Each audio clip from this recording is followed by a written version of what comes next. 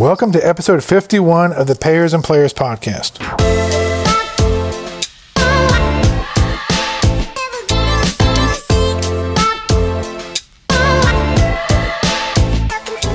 Please follow us on Twitter, Facebook, and Instagram. Our handle is Payers Players. If you'd like to reach us, we can be reached by email at payersandplayers at gmail.com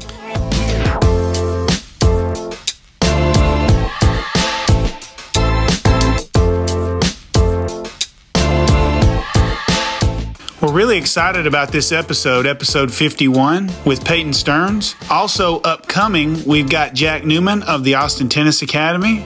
Also, Adam Blicher, who is a tennis professional, but also runs an incredible tennis podcast. And then finally, Ohio State standout, JJ Wolf. So keep your eyes open for these awesome upcoming episodes. Also, if you enjoy our podcast, we've added a donate button to the website.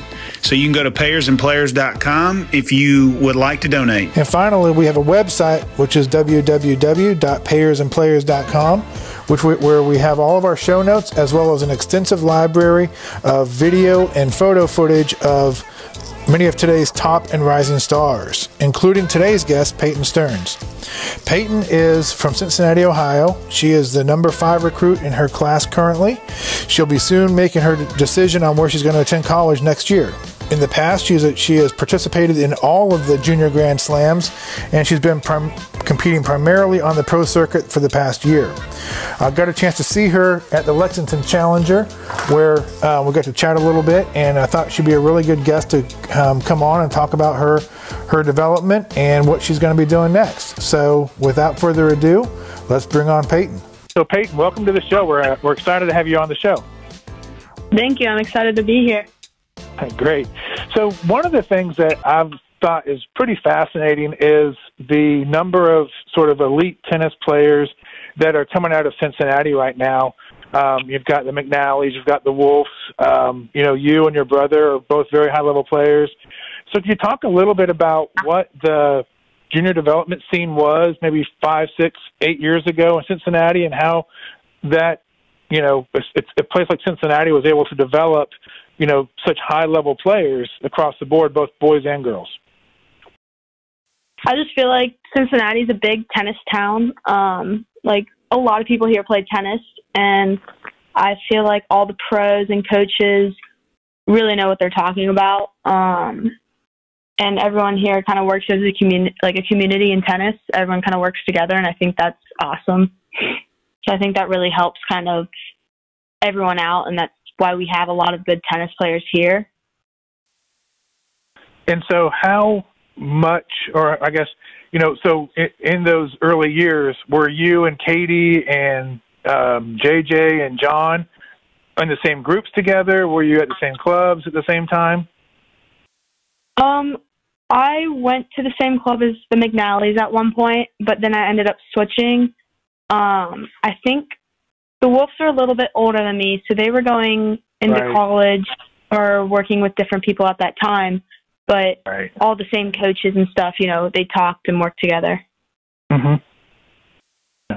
And and how involved were your parents in your development process? I, I don't know that they were tennis players per se, but how you know what was their role in sort of determining you know who your coaches were and how much you played and, and that kind of stuff. Could you talk a little bit about how what your parents' philosophy was for you guys? Yeah, they actually my dad played a little bit of tennis, but my mom didn't play tennis at all.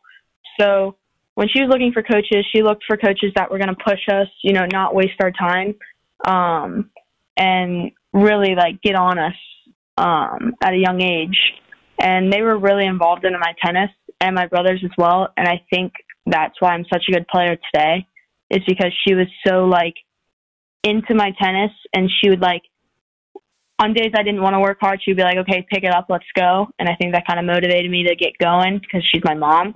Um, and I mean, you look at Agassi and what his dad did with him. I mean, that's, that's crazy at a young age, but right. I don't think parents should be that extreme, but I think parents should definitely be involved in their kids' tennis and making sure like the coaches are doing what they're supposed to do. Hold them, hold them accountable, right? Exactly. Yes. Like the coaches aren't just you know taking their money and doing the hour lesson. They're actually the kids are actually learning something from that lesson. Right. Yeah, and that's a great point. So, what would you say to the to the coach who says, "I just want the parents to stay out of the way"? Um, I wouldn't quite agree with that because I mean, my the parents are the ones paying. They deserve to see what's going on. Um, my parents, whenever a coach said that to them, they would uh, kind of see that as okay, they may not be working hard, or they may be doing something that we don't like. Um, so they that was a red flag for them. Yeah, yeah. I mean, I'm I'm a believer in that. The the parent has to be heavily involved. You know, the, the you, you can't really pay for every ball that the kid hits, and so you've got to work with the coach to know sort of what to work on. You, you know, like say if you it's like homework. So if you, if the coach is working on something with the player, you know they got they have to do that work outside the coach, and then come back for the coach to get you know the feedback and and see how these things are progressing. But if you're do if you're having the coach be everything, you know the parent, the trainer, everything, you know you, you, the parent has no, you know, like you say, they they have no um, role in that. Then there you don't really know what you're going to get because there's no one's more invested in their kids than the parents. And so, exactly. you know, to, to, for for a coach to say that you know I, I need to stay out of the way then I think that's sort of a red flag, and I, I'm gl- I'm glad to hear you say that. Yeah, definitely. So, can you paint a picture for us what it what your tennis training looked like, say from ten to twelve years old? What what were you doing on a daily basis? What tournaments were you playing? How much were you playing? How serious were you? Um, at the age of ten, I think I was just really starting to get serious in tennis, like just play tennis.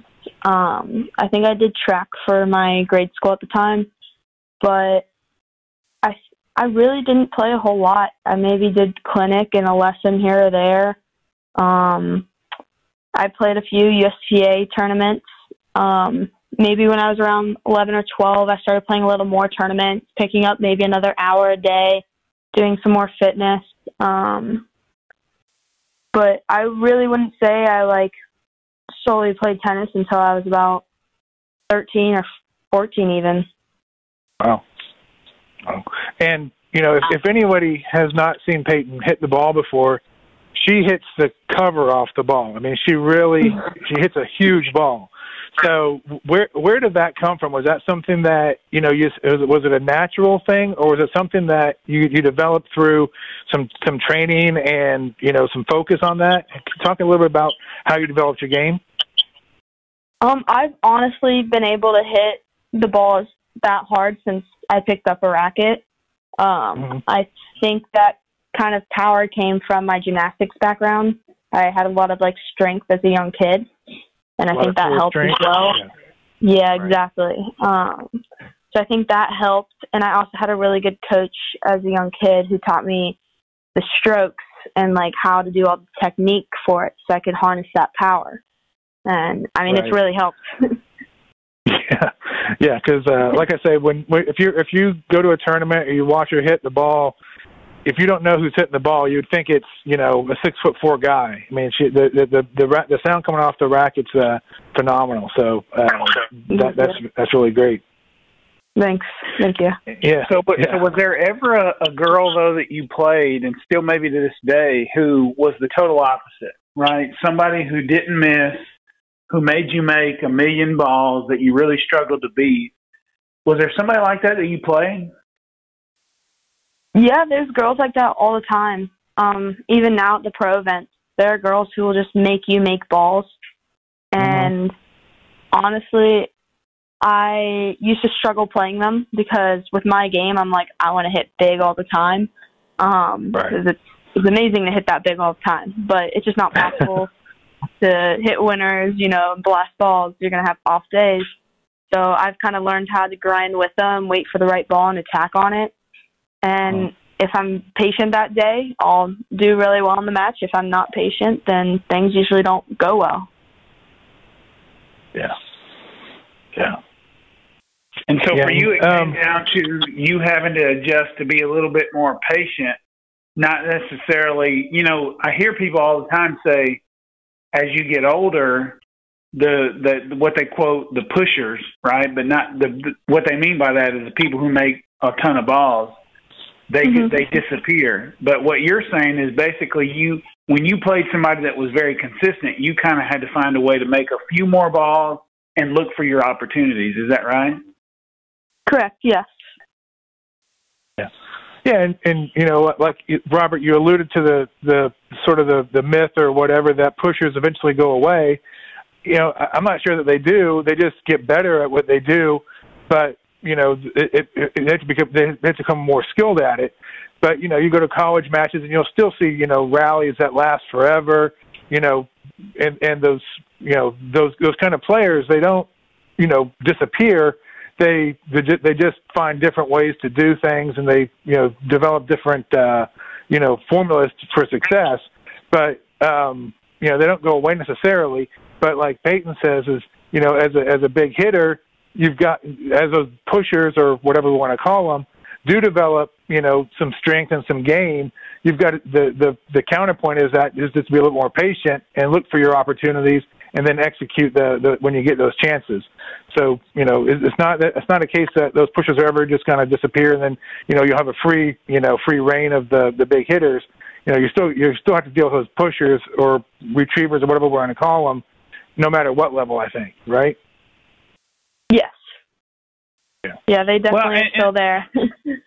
that that and the thing about it is is is that's not a negative, right? I mean you look at Djokovic, he can play a point out for a long period of time.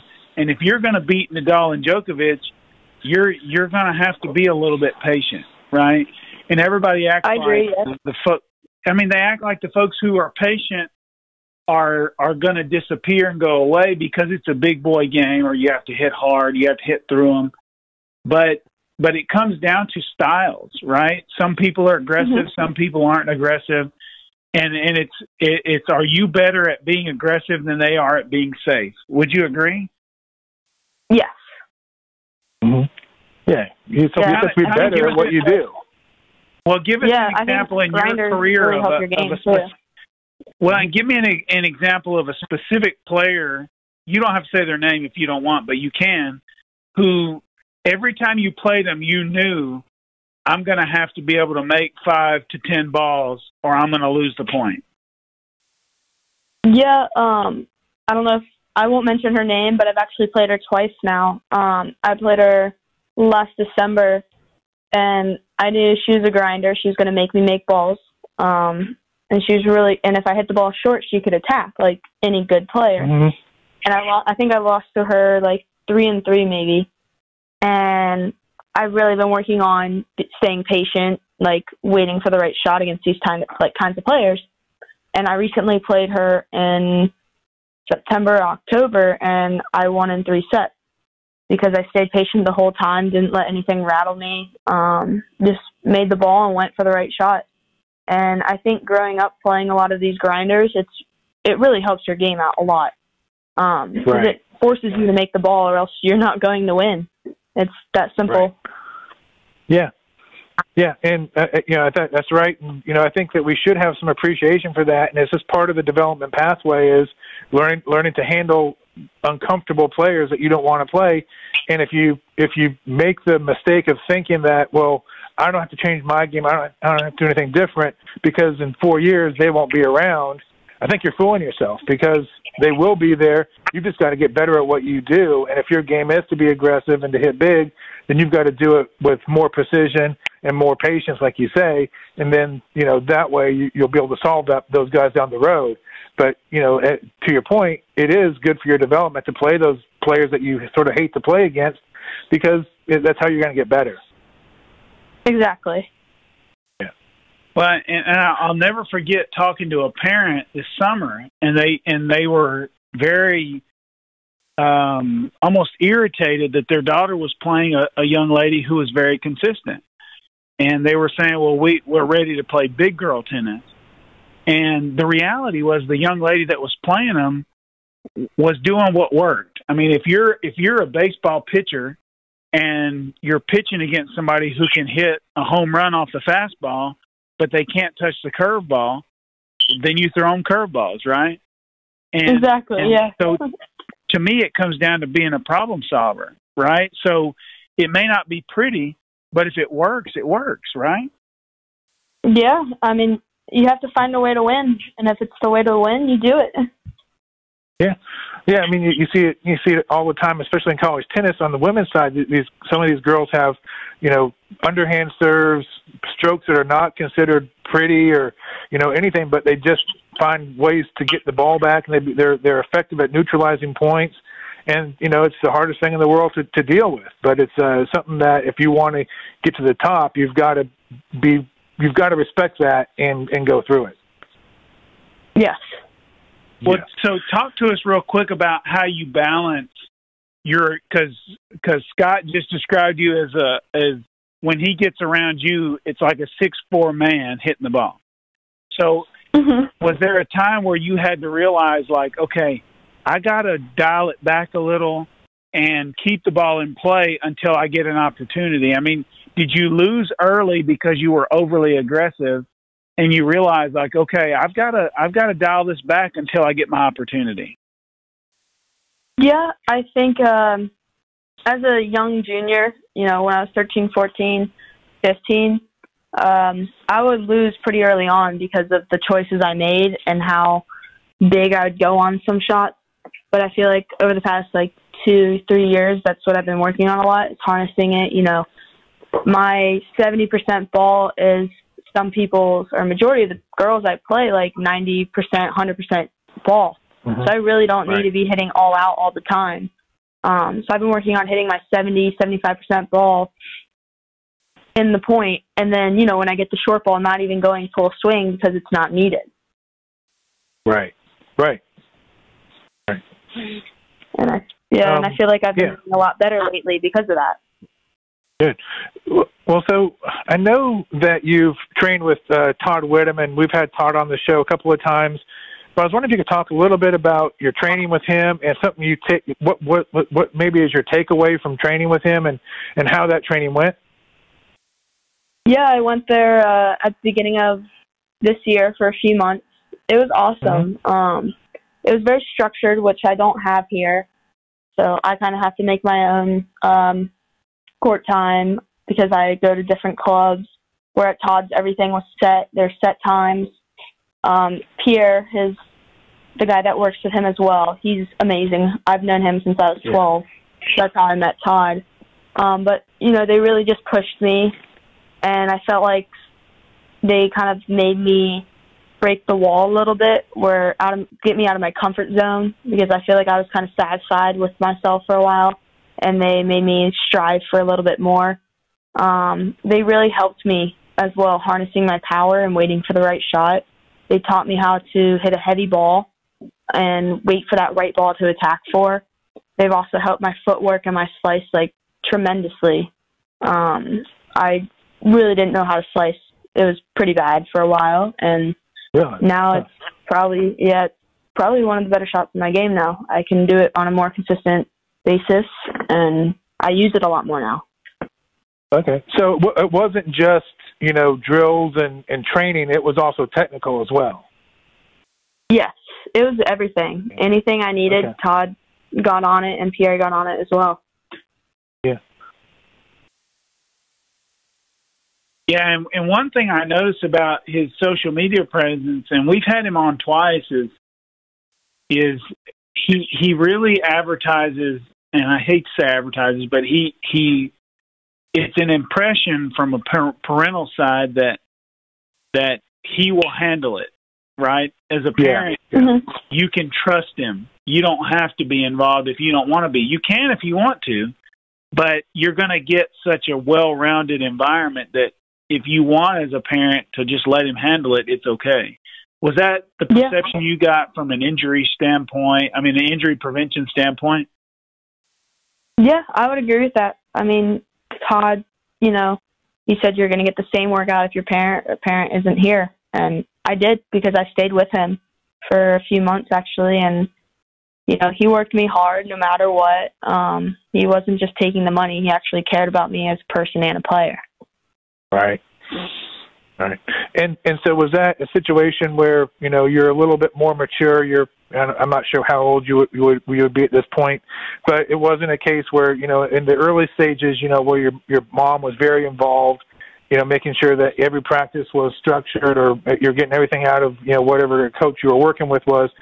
By this point, you sort of knew sort of where you were in your game and development, and she knew what she knew and she knew that Todd could take it 100% and wouldn't have to have somebody looking over her shoulder. Is that is that where that was? Yes, and we also knew Pierre from um, right. before when I was younger, and he's the kind of coach okay. that doesn't let anything fly. And my mom trusted yeah. him as well, and he said, "Come work with Todd and I." And my mom trusted Pierre completely and said, "Go do it." Good. Good. Uh, good. So, what advice would you give to a 12 year old girl or boy who's maybe in your shoes when, when you were 12? You know, I would just tell them that their main goal should be to work on their game. They shouldn't be worrying about winning or losing at this time because honestly, 12, 13, and 14, it doesn't matter. Like if you're winning or losing, it matters when you're 16, 17, 18. That's when you're in your prime. That's when you want to be having your game complete and like that's when you want to be winning. But at 12, yeah. 13, 14, like you want to be working on your game and developing yourself instead of winning and maybe not doing the correct stuff on court. So and, let me let me push back on that. So uh, real quick is is you hear it's such a struggle, right? Because let's say you're a mm-hmm. parent of an 11 year old, and just imagine in your head two 11 year olds one who is a pusher and beats everybody right? Mm-hmm. but the strokes are ugly they don't attack a short ball but because they don't miss they're beating everybody. And then you have another 11 year old who's super aggressive very powerful but because they're aggressive they miss a lot right? How mm-hmm. do you, yeah. how do you balance that? I mean that young aggressive player isn't winning much, everyone can see the talent, but they're not winning that much, right? And mm-hmm. how do you keep how do you keep them from losing kind of uh the desire or or the confidence? You see what I'm saying? Yes, I understand. Yeah, because I went through the same thing. I was a big hitter. I missed a lot. Um, it was definitely tough, but I feel like I surrounded myself with you know, good coaches. My parents were there for me, and you know, I would lose, and it'd be like, okay, well, what did you do well that match that we've been working on in practice? So there weren't that many negatives taken from that match. It was more of, okay, let's get to work right after this match and work on this. And I'm actually really glad that at a young age I lost a lot. I know that sounds weird, but I helped it helped me out in the long run. I feel like I've lost yeah. so much that I've learned from it as well. yeah, and and it's and, and the thing is in, in tennis you're going to lose a lot. You know, it, 30, oh, yeah. 32 players, 32 pl- players enter a tournament, 31 are going to come out losing. It's just the way it is. Exactly. And so, you know, if if you don't have a problem, if, I shouldn't say you should, if you don't have a problem, but if losing doesn't, you know, demoralize you, then it, it makes you stronger. You know, nobody, you don't want to go out there and say, well, we'll try to lose. Obviously, you try to win, but if you do lose, it's not the end of the world. And you know, like you say, you focus on the things that you've been working on, and if you didn't improve the things that you've been working on, then you go out and you try and improve them. So that's that's a takeaway from that. But you know, just specifically in your case, where where, where was your ranking, if you recall, when you were 12 years old? Um, at 12, I honestly, I think I was just playing tournaments in my uh in the Ohio Valley. I don't think. Okay. So you really didn't have like a national or a so you didn't have like a national or a mm-hmm. Midwest type of you know high ranking. No, my parents' philosophy was that, you know, they wanted me to win in my area, and then I was allowed to go mm-hmm. play Midwest tournaments. And then when I was winning okay. there, I was allowed to play national. They said you have to win at okay. every level before you move up. Gotcha. Yeah, so that, that so, I think that's that's good. Go ahead, Robert. Well, I was going to say, reflect upon that time when you were younger, and think about the philosophies your parent had and the opinions you had what are what are a few that you think were right, and then reflect upon a few that you think you'd have done different. So, in other words, there's a bunch of parents listening right now, and they're trying to figure out what's right for their child. What What's something that you think you did well, your parents did well, and then something you wish that they'd done different? I feel like what they did well was definitely they cared. And when I was younger, you know, it seemed that they were like really harsh on me, but they just cared a lot and they wanted me to be like do well. Um as a parent, I feel like they should push their kid and want them to do well, but they shouldn't push them into something they don't like. Um, I feel like my parents pushed me to the point where, you know, I still loved the game. I still wanted to be out on the court, and they didn't cross that line to where, you know, I didn't even want to touch a racket.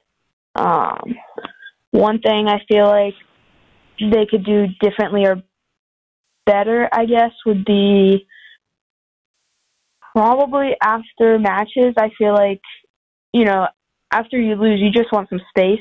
You don't want, you know, um, your parents or coaches to come over to you and start talking about your match. You know, you want to kind of calm down, reflect, and then go talk to everyone. I feel like sometimes, you know, they would come over to me after the match and you'd still be emotional for the match and you'd get angry. Uh-huh. Yeah. It, and you know, you've you've got a younger brother that's following in your path as well. How would you say maybe what are some of the things that they've learned from you that they've you know are doing or not doing with him that would be di- or I guess I'm I guess the question I'm trying to ask is what are they doing different from with him than they might have done with you if, if there's if you can recognize anything. Great question. Um, yeah, that's actually a really good question. Um, I and also like, and also he he's he's a boy and you're a girl, so there may be some gender things as well. So maybe maybe that might play play a factor in it as well. Yeah, because of the tournaments kind of thing. Like it's tough right. to know where he should be because at right. his age right now, I was playing the Grand Slams and juniors, and right now he's still playing nationals. Even though he's, you know, he can hit the ball with me. He's a really good player, but guys, mm-hmm. it's just completely different. Um, right. but I definitely feel like they I'm trying to think. That's actually a really good question. I feel like when we're hitting, sometimes my mom will get on my brother because my if you see me play, I'm a very like chill and mellow person on the court. I kind of keep my mm-hmm. emotions in, and my brother's the total opposite. He loves okay. to, you know, scream, have a fit, all that kind of stuff. so when my mom would tell me stuff when I was playing, like practicing, you know, I would kind of hear it but not say anything or show my reaction to it. I would just take it. Uh-huh. Where my brother uh-huh. takes it as a negative and kind of goes crazy. But I think my so it's it's kind of tough for my mom to uh, learn from what I've done to bring it in, like to do for him, I guess, because we're two completely yeah. different kind of people and players. Right. But right, right, it's right. just a tough scenario. Where I feel like if he was yeah. more like me, you know, she would definitely um, do some different stuff with him. But it's just so tough because he's actually the total opposite of me. yeah, yeah, gotcha. So, gotcha. so tell so, me a, a moment in your tennis career, okay, where you were working really hard and the results weren't there, and you thought, you know what, uh, this isn't for me. I'm I'm gonna give up. Was it? Was there ever a time like that? Um, I don't think there was ever a time that I wanted to give up, but I would honestly say this year, um, I was working my tail off. I think just this, maybe in the past year, I've really been like more dedicated to the game. I feel like in the past years, you know, I was just kind of there um, some days I wouldn't bring all the, I wouldn't put a lot of effort into it sometimes. But I feel like this year, you know, was the first year where I was really like, Peyton, like if you want to make it big time, you have to put effort in every day, every hour, like dedicate yourself to the game. Um, and I did. And you look at my results at the beginning of the year in some of these pro events, and I didn't make it very far. I was losing in qualities, you know, maybe first round in main. Um, and I was working hard in practice. I was playing extremely well. It, the results just weren't coming. and I had a coach behind me, um, Carrie Rubens, and you know Mhm. he said, "You just got to think positive. Like you're doing good things. I can see them in the match. You know, you you're gonna have a good run at one of these tournaments eventually. Like keep your head high." After every match I would lose, I'd go back out on court and hit for another hour, two hours with him and work on stuff because I would be like, I I want to win. I want to be better. So after a loss, I'd be like, okay, we need to work on this, and we'd go work on it. And I was doing that for a while, and then in October, I made it to the finals of twenty five thousand in I think it was Sumter, South Carolina, and and it really showed my progress from the year. I played extremely well, Yeah. and I think it really paid off. And I'm really Yeah. glad I Hey. didn't just kind of throw in the towel. Right. So did did you ever play zonals when you were a kid in Sumter? Okay. She's I did. I did play zonals, She's- but it was in Oklahoma, I think. Yeah, she's in the oh, Okay. Midwest section. Yeah. so so real quick for like a minute. Tell us tell us did did you enjoy zonals? Was it a good experience? Oh, I absolutely love zonals.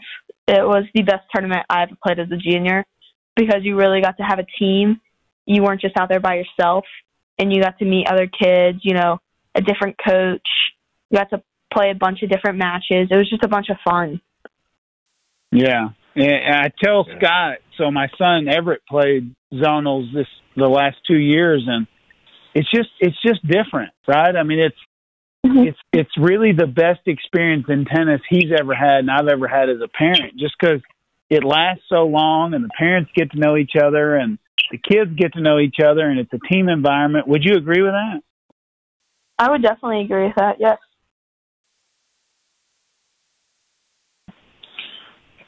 Yeah. So, so Peyton, you you mentioned that you played like all four slams at, at what age? When you were 16? I think it was in 2000. Yeah, I think I was 16. Yes. So, could you tell us a little bit about sort of how you got into those tournaments? Because, like I say, I don't think you can. I'm, I'm not sure what the pathway is for that. But then talk a little bit about maybe your favorite slam and which one you played at, and maybe something that we we as normal people wouldn't really know that goes on at the slams. Could you talk a little bit about you know that that experience and what was unique about those tournaments? Yeah, um, leading up to those tournaments to be able to qualify for those, I played a lot of the ITF junior events. Um, you know, you had to start small, work your way up, win in the tournaments, get the ranking up, which I did. Mhm. And my parents said if I qualified for the slams, they would send me to them. So that was my goal for the year before. Um, I would have to say my favorite slam was definitely the Australian Open. I probably am a little biased because that was my first slam that I played in, so it probably Yeah. seemed like way better than it actually was. But um, no, it was awesome.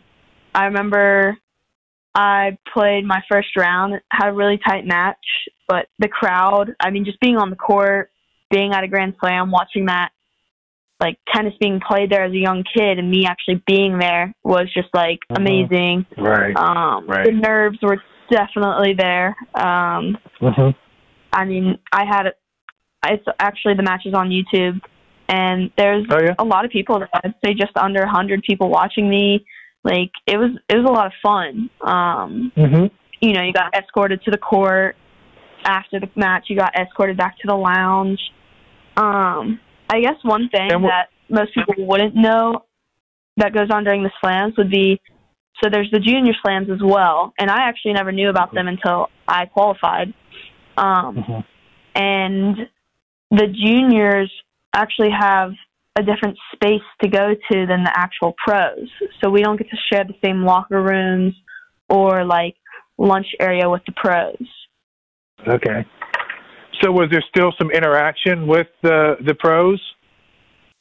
Yeah, you would see them on, on the practice courts or like at the US Open, they allowed you to go to the cafe sometimes like but they were like you can't just sit here if you're not going to eat.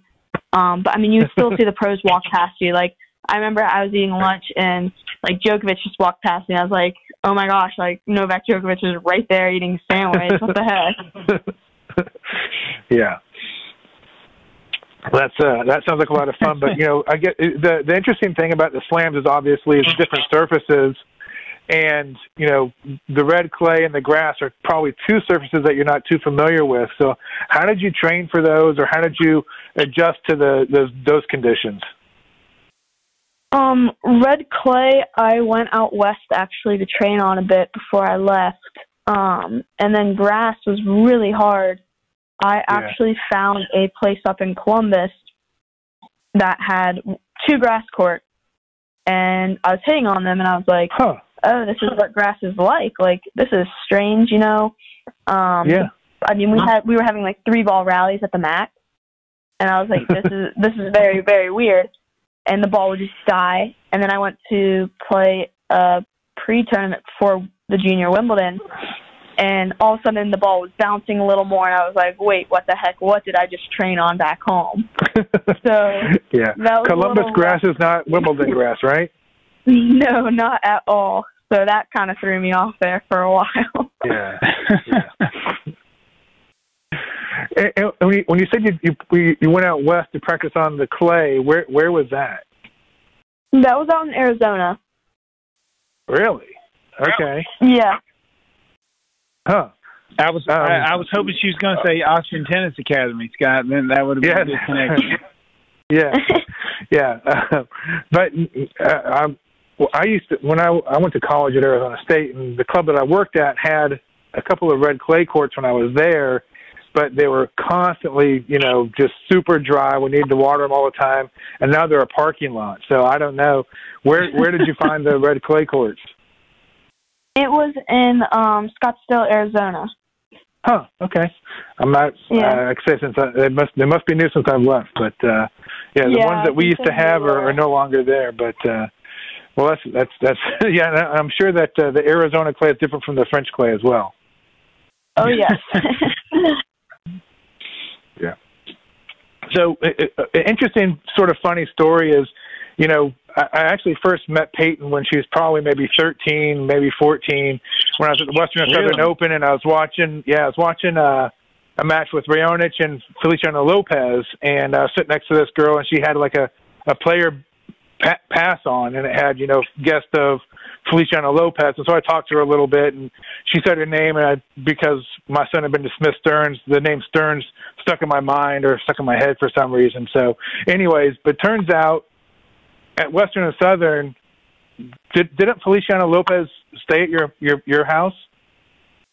Uh, no, but we're really, really good friends with him. Okay, so you're, you're okay. So you're just close friends. Okay, so talk a little bit about some of your maybe your Western Southern experiences, and were you ever a ball girl there, or because you know, like I say, it's, it's such a great tournament to have in Cincinnati, you know, especially if you don't get a chance to go to the U.S. Open or a Slam. All the players are there, and it's super intimate um, and everything. So maybe just talk a little bit about you know how that tournament, what that tournament meant to you, being from Cincinnati. I mean, I've wanted to play in this tournament since I've picked up a racket. Um, I have been going to this tournament since I was maybe five or six. My parents have box seats on center court, same seats every year. Um, mm-hmm. I've never been a ball girl actually. I've never really wanted to be a ball girl. I think just because I wanted to be playing, and I feel like I'd be like, oh, I want to be playing. I don't want to be a ball girl. So mm-hmm. I sat on the sidelines and watched. Um, this year, I tried. I signed up for a wild card. I didn't get it. I think my ranking was a little too low. Um, but I mean, my rankings I think around 500 WTA right now, and hopefully I get it a little bit higher before this tournament comes along. And I mean, it would mean the world for me to play in this tournament. Um, like hometown, right. I live five minutes away. Yeah. It, it's just a crazy story, you know. The tournament's in yeah. Mason. I live in Mason. I've been going to this tournament since I was five, six. Like, that's yeah. incredible. Yeah, yeah, and it's it, it, it is great. Also, you know, we mentioned you know the Wolves and McNally's, and you know JJ and um, John both played in qualifying this year. And you know w- when we were there for those matches, you know they were the stadiums were packed. You know, you talk about you know having a, a stadium full of people you know these you know they're playing on like court three which has a ton of seating and they were you know the the people were up up the way up on the on, on the side so it would be great for you to to have that same experience so hopefully this year you, you get that yeah i really hope so Well, I'm sold. And so whoever runs the tournament, I, I think they need to uh they need to let you in, right? So I mean, I think I, I I agree. think I'd be there, I'd be there to watch if they did. yeah, yeah. So sell some sell some tickets. We'll get we'll get people on the stands because yeah, she's we like I already say, have yeah, two sold. Yeah, some, right. some you random some, Yeah. some random Russian playing. I I, I want to see Katie play, right? So let Yeah, let's sell some yeah. tickets, like Scott said. Yeah, let's do it. um, excellent.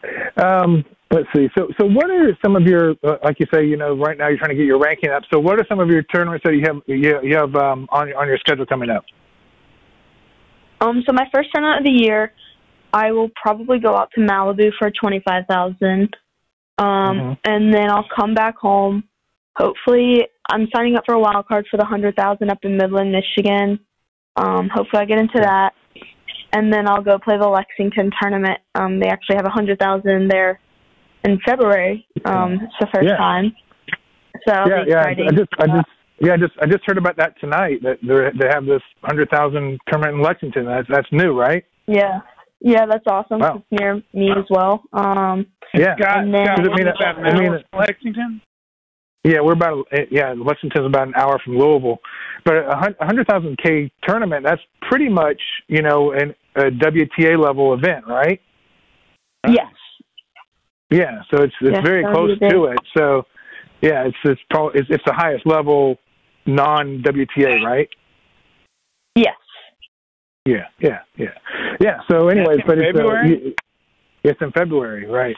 Yeah, and Is at- it I'm sure it'll be the the University of Kentucky? Where is it? no. It, I'm sure it'll be at uh, top seed. Do you know? Do you know where they're going to hold it, Peyton? I, I think it's top seed. Yeah, and Top Seed is it's a new club that was opened in Lexington a little while ago, and they're starting to get some really good level tournaments, some ITF tournaments for juniors. Um, this tournament, but it's a fantastic um, viewing. Um, what do you call it? Uh, balcony or mezzanine, where you know basically every all twelve courts that are indoors, you know you can get behind the courts, and you all, all of them have good seating. So it's a I think it's a fantastic host site for a tournament like that because they'll do a good job and the people there every, every time that we've had a tournament there they've been you know super um you know welcoming and they're really excited to have you know events there so i'm sure they'll do a great job with it so we're looking forward to that Yeah, definitely. Yeah. That is awesome. Yeah. Um, and so, and then also talk a little bit about, you know, right now you're sort of in that transition phase from, you know, going to college, perhaps in, a year, your graduating class of 2020. So, and, you know, you'll graduate from high school in, in next spring. So what are your, you know, plans as far as, you know, college recruitment goes? And what are you thinking there? Yeah, um, I'm definitely going to college as of now. Um, I've kind of narrowed down my choices to a few. Um, I need to go visit another school to make sure that, you know, what I'm, the decision I'm going to be making is okay. Um, and I guess, I don't know if you know about this rule, but at some schools I can go for a year and I can leave and go professional. And if it doesn't work out or I want to come back and get an education, I can come back and they pay for it. So that's like a no brainer. Yeah. Right. And for sure. For sure. my parents are like, you need to go to college and do that for sure. Yeah, for sure. So you you, you said that that's is that for every school? Or how, how, you said that it sounded like there's a qualifier in there. Is that for every? Uh, does that go for every It's- every school? No, I think it's only from for some schools, and it's they only Hmm. offer it to some players. Okay. Yeah, I, I know that Noah Rubin said that that's the deal he got at Wake Forest, where he can go back at any time and get his degree. And so, like you say, you know, it's a no-brainer to go. You know, it, it's just Yeah. you know, it's it can be as small as a you know four month commitment, but you get a great education, great coaching, great facilities. Why wouldn't you do that? That's right. Exactly. Yeah. Yeah, so, excellent. So, so all right. as you as you make your decision, what are the things that are important to you? Is it the coaching, the location, the what the schedule they play, the conference they're in? What are what are your what goes into your decision making? Um, definitely the coach if they're going to help me develop my game. As and then another thing is is will the the coach bring me to professional tournaments because I don't want to go to college for that semester a year and not play any or keep up points, and then I leave after a year and I have nothing. Um, Right. So I know one school is offering that, you know, uh, all the schools can bring me to seven tournaments and they pay for seven. And but this one school is saying, you know, you can go to ten, eleven, but you just pay for those extra three, four on your own, which Mhm. my Right. parents said they would help out. So that's awesome. Um, Yeah. so I really like that part. That's another big one. Okay. Another big one is, And- you know, uh, yes, go ahead. Okay, yeah. Sorry. So when you when you say when you say playing professional tournaments, is that in the fall when there's not really the team schedule, or is that you know both spring and fall? Um, it's mostly in the fall, I think. Right. Right. Yeah, I'm just, I'm just curious. You know, in the fall, you know, it, it seems like it's more of an individual time, whereas the spring is, you know, it's really the team. Um, you know, dual dual matches, and you know, obviously the the NCAA tournament and things like that, where there there, may- there may be some expectation that you know if you're going to play, that they need you there for at least you know the tournament and the big some of the big matches, but work around you know the schedule the rest of the time. Yeah, I think Yeah. in the spring they're like, we want you at these tournaments.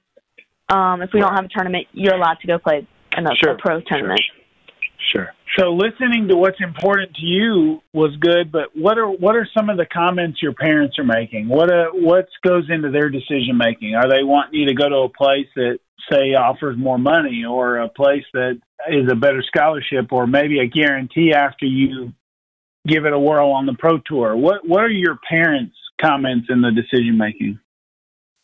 Um, my parents want, you know, everything in writing. They said if you're going to go for a year and leave, they want it in writing. If they're going to bring me to seven tournaments, they want it in writing. Like they said, not that they don't trust the coach. It's just what if the coach were to leave, or someone was to leave, and all of a sudden the new coach or the new person coming in said, "No, I don't agree with that." Um, if it's in writing and you sign it, like they have to agree to those terms.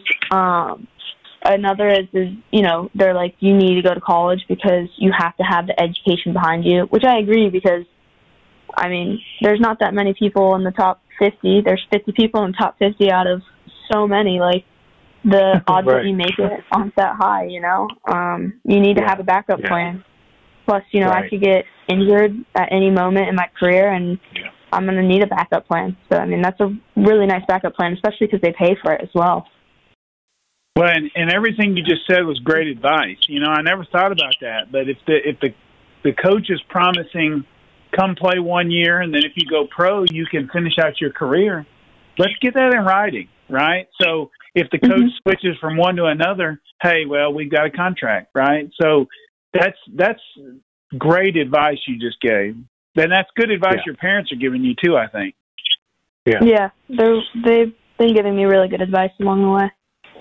Yeah, and so you're. Uh, I'm, as we've had this conversation, I've been really impressed with sort of the the wisdom that your parents have in this, given that you know you're the first tennis player in your family, basically. So, how did they, you know, obtain this wisdom? Did they, you know, have other people they talk to, or is it just sort of just the way that they do run run everyday life? This is just how they are. Um, I mean, my mom was a big time athlete as a gymnast, so she Yeah. kind of knows like the athletic side a little bit more. Mhm. Sorry. Um, and my dad owns a business, so he knows the business side of it. So together, they're Oh. like really good at Yeah. putting the puzzles, like the pieces of the puzzle together. Um, Yeah. as to the tennis part, you know, that was just something my mom picked up on along the way because, you know, she would drive my brother and I everywhere all the time. Uh-huh. And she'd have to sit through those lessons and watch us hit. And she was, I like kudos to her because she listened to everything along the way. And I think she's actually learned more about tennis than she ever would before because of just sitting during these lessons and listening. So sometimes she'll be like, Peyton, do this. I'm like, wait, how do you know that, mom? right. But and, exactly. And one of the things I noticed is is I see some of the best players, right? Some of the best tennis players that are around us, and their parents never played tennis, but because they did exactly what you just said, they could take a four year old and make them a pretty good tennis player just because of all they learned in the process of helping you become a good tennis player. Right? And so your Yeah. mom, I don't know how good a tennis player your mom or dad is. They may not be Not very uh. Right. But but I believe based on what you just said that they could guide another young person through the process of being good even though they can't even maybe be a 3-0 player or whatever, you know? yeah, definitely. They have a And, lot of and one thing you. That's right. And one thing you see like with Nick Bollettieri, they say that you know, he couldn't play his way out of a wet paper sack, right? But he knew how to get you to be good, right? Right. And they, they said Yeah. that he got like the three five level was the highest he ever got, which UTR wise would be like a a three UTR or you know somewhere in there, which isn't very good. But the fact that he knew what you needed to do to be good was valuable. And so your parents, even though they weren't tennis players, figured it out. And I, I think that's important because there's probably a lot a lot more parents out there that knew nothing when their child got into this. And and Yeah. the fact that your parents learned all they could learn and figured it out is is very valuable to you, but also commendable on their end. Yeah, Yeah, definitely. They invested a lot of time in that. Yeah. So, so Robert, we're we're getting up on sort of the, the approaching the the end here. Do you want to ask a final question? Then I've got a few short, uh, quick hits for for Peyton, and we can wrap it up. Yeah, so I, I just I want you to real quick reflect on um, a moment because every I, I can just think every tennis player has that moment where they work super hard. They're like 13 or 12 or 14 or whatever, and they work super hard and they go to a tournament, and then they just they get destroyed. It's a horrible tournament. They play terrible and the ride home is just like silent, right? It's miserable. and then Yeah. and then 6 months later, they have a great experience in a tournament. Did you ever have a moment where you it was just like this may not be my sport or you you know, what in the world and then you came out of it. Can you kind of tell us a moment like that? Oh yeah, um, I've had plenty of those moments uh, when I was younger. Um, I actually went through a rut for a little bit because I felt like I was working so hard and then I just wasn't doing very well. So I felt like I just wasn't like that good, and it kind of took a while for me to get out of that. Um, but I would have to say I think I was 14, and I was playing the Midwest Closed. I think down in the South they call it Southerns, maybe The Southern something Club. like. Yeah, Southern Closed. That's Close. right. You got it. You're right. yeah. and uh I was playing we have like a pre tournament for each section in the Midwest for you to get into that. And the tournament Right. I played a tournament before that and I was training super hard and I like got demolished first round and I was just like Hmm. heartbroken. I was like, I'm not gonna do well, I'm not gonna qualify for Midwest close because I was playing sixteens that year and I was fourteen. And I went in and I won singles and doubles in the pre tournament for my section and I was like, oh, okay, like that was good, you know, but it was expected. I was the one seed for both. Um, right. and I go into the Midwest Close, and I win singles and doubles at the Midwest Close as a 14 year old and 16s. So I feel like that was just like a big turnaround. Like I just immediately like turned around after that loss, and that kind of got me out of the rut for a little bit as well. Wow. Yeah, and and what were That's- those those car ride home like? What I mean, you know, you're riding home with your mom and dad, and after getting just, but before you had the success, but after getting destroyed, maybe one and one against somebody you should have beat. What what was that car ride like? To be honest, they were horrible. um, they were it was the worst feeling ever because you know you could just feel like they wanted you to win so bad and you wanted to win so bad and just didn't happen the disappointment um no but my parents were actually really good about that actually um i felt like when I lost, they focused more on okay, did I try? Did I do the correct things? Or, you know, did I, uh, was I moody out on court? And if any of those three was yes, I was moody, or yes, I didn't try, or I didn't do the stuff I've been working on, then I would get in trouble at the car ride home. But if I did all three of those and I still lost, you know, my mom would still be like, "Ah, oh, I wish you would have won. You played so well. You did everything right." but you know, it was still it was still not the best car ride, but I didn't get in trouble because, and I feel like that's something parents should kind of look at. You know, don't don't yeah. get mad at your kids if they're trying out there. They're like fighting. They're doing the stuff they're supposed to be doing, and they're losing. Like there's nothing that kid can do. They're trying their best, but if the kid's right. out there not trying, throwing their racket, having a bad attitude, cheating, then yeah, like that kid deserves to be yelled at. Like that's not okay. right, right, right. Yeah, it's it's the it's the effort and attitude that needs to be reprimanded as opposed to the you know the result or the you know the the just whatever their ability might be. Exactly.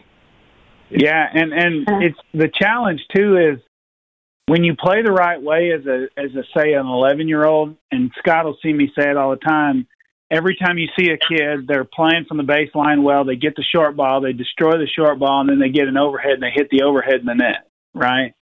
And I, I call that the classic 12 point yeah. classic 12 point right? And you're thinking when they're 14 they're going to hit that overhead and win the point. But it's so funny that kid at the net hits that overhead in the net and they're just destroyed mentally. And the kid at the baseline is going, "Let's go!"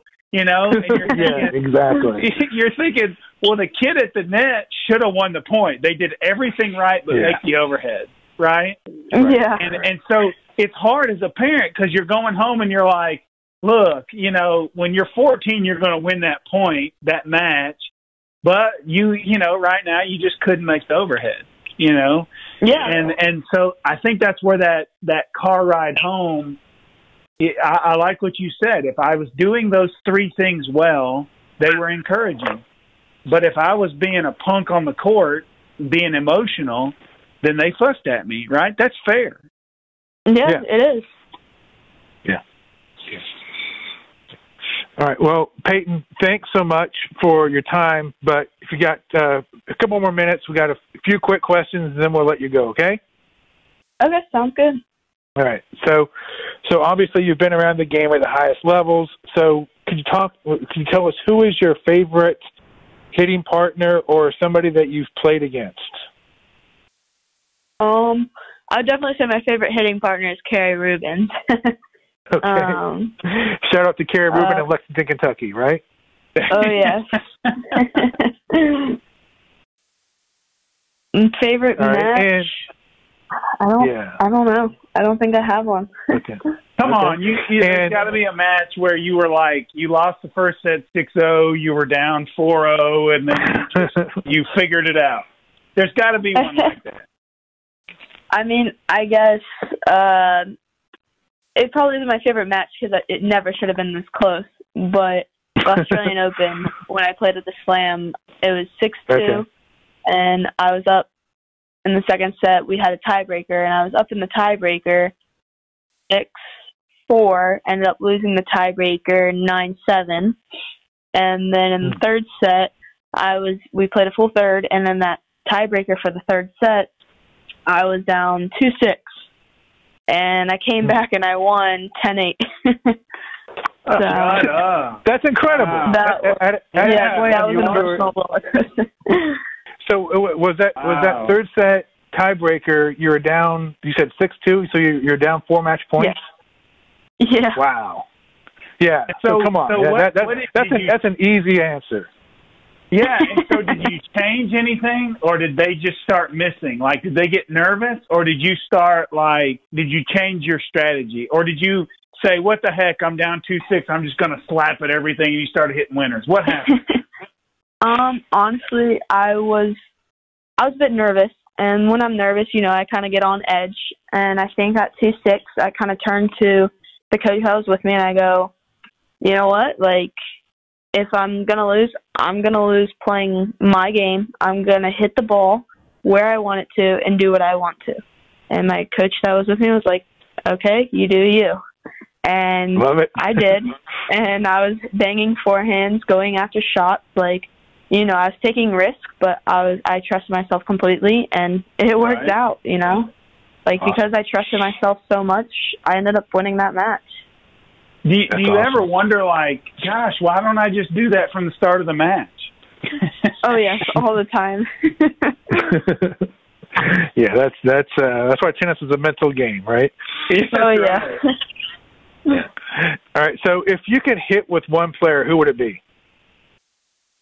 Federer, Federer, of for sure.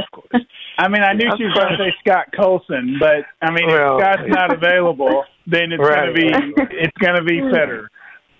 Yeah, she, and she already has Kara Rubin, so she's already got someone better than me. So it's uh, that, that's not that's not on her list at all. All right, what's your what's your what's your favorite uh, tennis movie, documentary, or book? Good one. I would have to say I have the favorite book is the Agassi book. Um, Okay. I actually had to do a report on it, and I still Really? have it up in my room. Yeah. Um, Yeah. and I had to read the book and do this little like arty craft thing with it, and I think I learned a lot from that book actually. What? All right. So Like- so like what? Are, yeah. Go ahead. What book was it? Um. Oh no no What no. did you learn? You said you learned a lot. What did you learn? Oh, oh, what did I learn? I mean, I, di- I didn't know like how extreme tennis was at the time. So I think this was in fifth, sixth grade, and Oh, I was wow. like, Okay.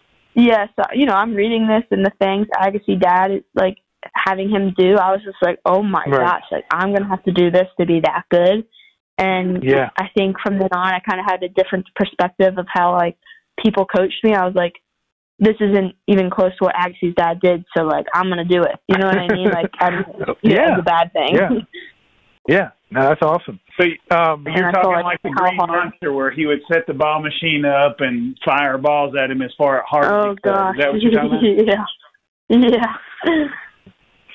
So I mean that's Um, that's a good experience because you realize, hey, whatever this coach is asking me to do, it's not as bad as Agassi, right? I can, if Agassi can do it, I Exactly. can do it too, right?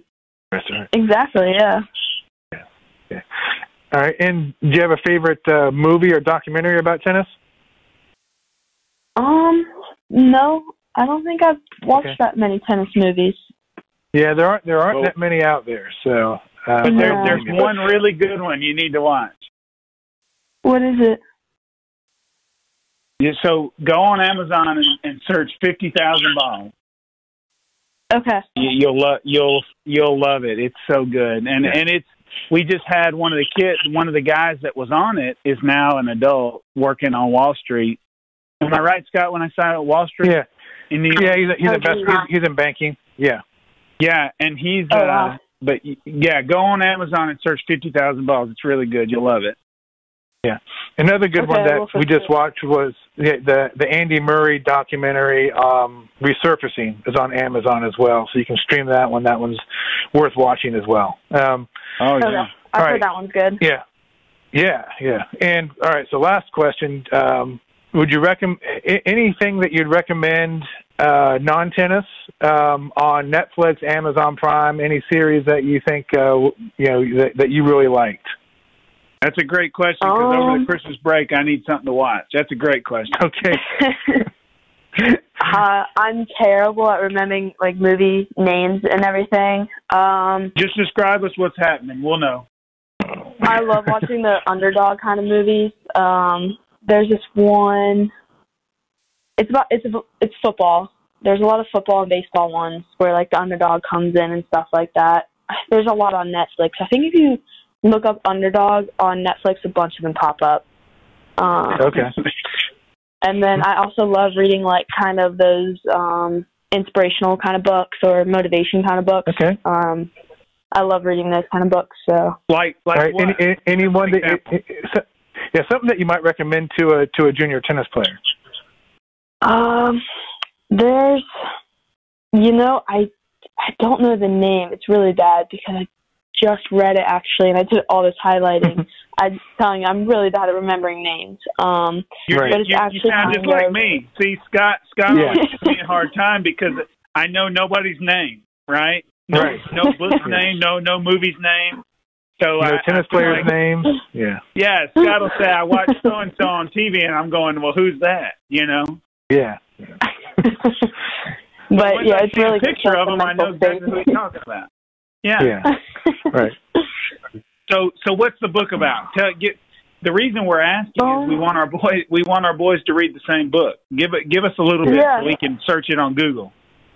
Yeah, and I I'll find out the name for sure. I think it's downstairs actually. Um, but Mm-hmm. it's really just helps you kind of like get in that mental state. Like it honestly has helped me. You know, like when you're not feeling up to par, like are you going to go out to practice and not work your hardest because that is going to go into the match.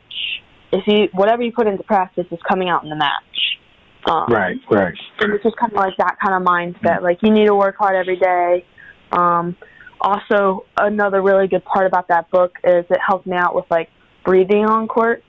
It kind of helps you set some rituals, like you know, okay, some things aren't going your way. Start some box breathing, which is where you breathe in for like four seconds, you hold it in for four seconds, exhale four, hold for four, and you do that maybe like two times in between points. You know, you go to the back fence, do that, Mm-hmm. breathe in, breathe out, hold, go to your towel, and then go back to the next point with like a clear mind and get ready to play. Yeah, I like that. Yeah. So, th- so this Yeah, was a good. tennis specific book. Yeah, I think it was like tennis and um one other sport maybe. It was like a mix. Okay. And Okay. then there was another one that had like a famous mental coach. He wrote it. Mhm. He worked with like LeBron and other famous like people. Okay. And Did, did you ever did, kind of- did you did you ever work with a mental coach? Um, down at USTA when I would go down there, I did yes, and I Okay. actually just started working with one. He's with USTA up in New York. Uh, his name's um, Mark.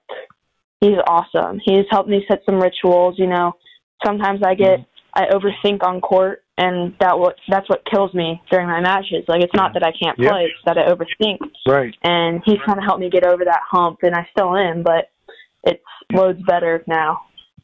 Yeah. So, you, so, so at you what think age? that, that was was- beneficial? Sorry. You think that was beneficial? Oh, one hundred percent, yes. and, and what I think age if you're would you think? Yeah. Go ahead. I'm sorry. But I, j- I think like I was just about to say about the age thing. Like I think if Yeah. I had a mental coach three years ago, I honestly don't think I'd be listening to what they said. Um, I'd be like, this is Uh-huh. boring. Why am I listening to this guy talk Okay. about breathing on Right. the foot? Um, but I think now that I know, like, you know what I mean? Like, at, and at a young age, yeah. I, I really don't think like that. Yeah. You don't have the in play. maturity. Right. Um, yeah, exactly. And I think when you get a little more mature, um, like me now this year, I think I realized how big the mental part is of a game. Um, and it's helped me tremendously. But I think if you're young and, you know, you're really going to listen to, to them, then like, it's not a bad idea. But I think if you're the kind of kid who's just like, like me personally, I'd be like, why, I don't want to listen to this guy talk to me for now. I want to go out in the court and play.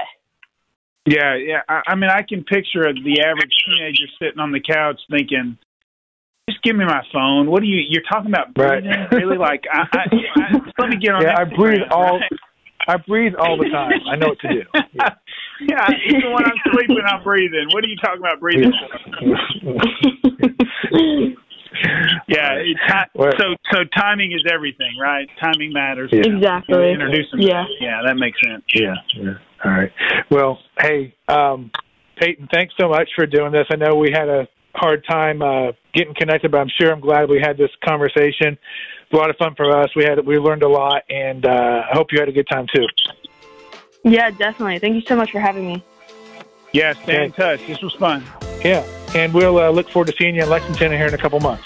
Thanks for listening to the Payers and Players podcast. If you would visit us on our website, payersandplayers.com. Also, we're really excited about some of our upcoming guests. So we've got Jack Newman, uh, who works at the Austin Tennis Academy. We've also got Adam Blicher, who runs one of the best tennis podcasts that I've personally ever listened to. And then also uh, an Ohio State tennis standout, JJ Wolf.